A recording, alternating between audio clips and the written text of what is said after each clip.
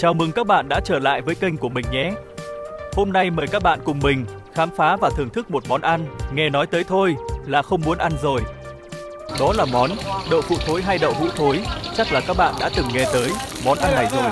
Nếu các bạn đã từng xem các bộ phim kiếm hiệp của Hồng Kông, Trung Quốc, là một loại đậu phụ lên men, khá nặng mùi nhưng lại là một món ăn nhẹ đặc sản bình dân.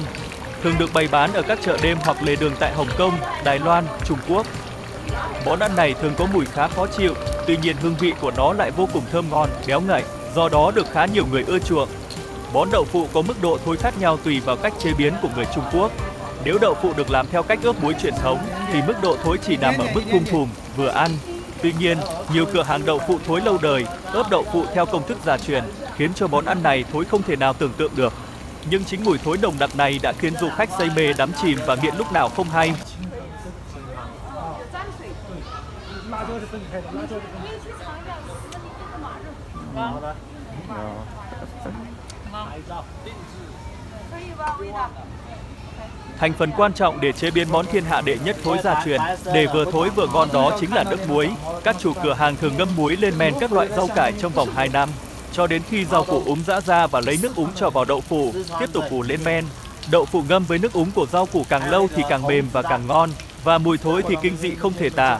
Đỉnh điểm của công thức chế biến món đậu phụ thối đó chính là ủ lên men cho đến khi đậu hũ đen kịt và mùi thối nồng nặc xông ngay vào mũi. Đây chính là món ăn thách thức những du khách nước ngoài nhất tại Trung Quốc. Tuy nhiên, nhiều du khách chia sẻ rằng món này rất ngon và có cách chế biến độc lạ. Đậu phụ thối phải được chế biến và ăn đúng cách mới dậy được mùi và mới đỡ ngán. Có rất nhiều cách ăn nhưng phổ biến nhất đó chính là chiên giòn. Đậu phụ thối sau khi được chiên ngập trong chảo dầu lấy ra dĩa hay thau nhỏ và cho gia vị thêm vào như tương ớt, đậu phộng, hành ngò và nước dùng để thêm hương vị. Bạn có thể ăn kèm với kim chi cho đỡ ngán. Một phần ăn như vậy có giá từ 10 nhân dân tệ, khoảng 33.000 đồng. Ngoài ra, món ăn độc đáo này còn được người dân Trung Quốc chế biến các món canh, xào, kho hoặc luộc. Đây được xem là món ăn đặc sản độc đáo có 102 tại Trung Quốc, được khách du lịch rất yêu thích.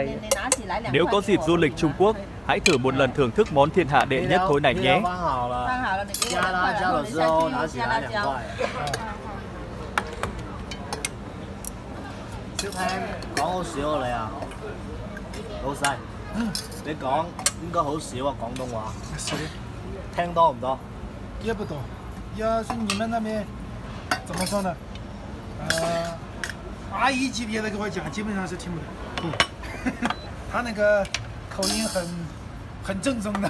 很正宗。嗯，最怕老港老广讲普通话是吗？那好不好？中年人但是怎么说你们讲普通话一听就能还能听得出来。那种阿姨真的，一讲，基本上是很难听得懂。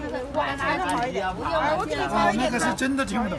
听不懂啊。啊，这个辣椒也少一點哦。對，小辣椒。嗯，加一下小点哦，太多了。小辣椒，他们不会吃辣。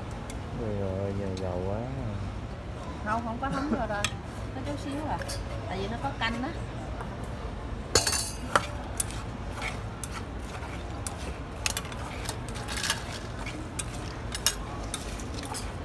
老板，老家哪里人？我是湖南、湖北，这个这个本地的。本地的这个这个，哈哈，这今晚你就个这个这个不是人的。这个都是本地的。今晚你糟糕啊这个。湖北啊，好，谢谢。多少老板？二十。 Để trả cho, để trả cho anh em đó. Trả trả chút đi, trả cho. 在这边你们吃饭，你应该口味，他那边饭馆的口味都是偏重的。 对，因为这边那个怎么说呢，调料是要比广东那边使的多，这个我是深有体会。去吃了马肉没有？马肉没有，可以去尝试一下。哪里？